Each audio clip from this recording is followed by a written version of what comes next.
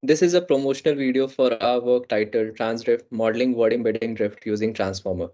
I am Nishant, currently pursuing my undergraduate studies at IIT Delhi.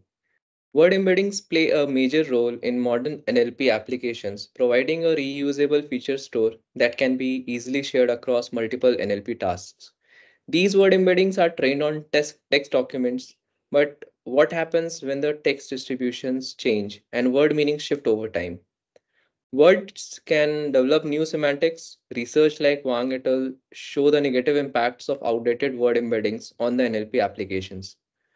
As illustrated in figure 4, over time, Apple's Apple connotes iPod more strongly than Walkman. Similarly, terms like music and earphones exhibit closer proximity to iPod within the vector space.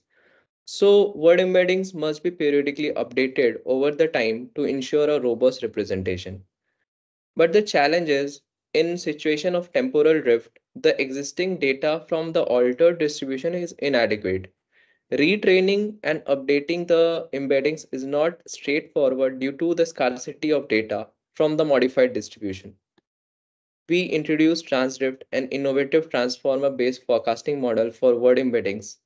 It learns drift pattern and anticipates adjusted embeddings in accordance with data drift by integrating previous embeddings with the evolving dynamics of drifts. As shown in figure 6, the model takes the word embedding ET trained on the previous data distribution along with embedding ET plus 1 small trained on a small subset of data from the updated distribution if the new data is available. Subsequently, the model predicts the word embedding ET plus 1 representing words aligned with the new data distribution. We have demonstrated that our model Transdrift outperforms various baseline models by a significant margin across multiple datasets in downstream NLP applications. Thanks.